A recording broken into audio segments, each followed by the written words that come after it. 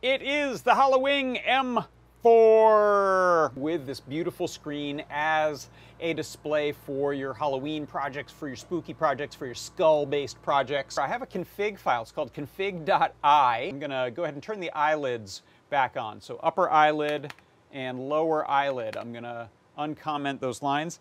I'm going to save this file right onto the drive and then I'm going to press the little reset button that's back here and you'll see it boots up really quickly and now we have uh, the lids. I'm to adjust the pupil color. I'm to make a red, terrifying red pupil and I'm going to change the slit pupil radius. We get dun dun dun, really cool. Let's do the sclera with the reflection maps. Our dome environmental photo that looks like uh, a, a chrome ball type of thing. It is the HalloWing M4.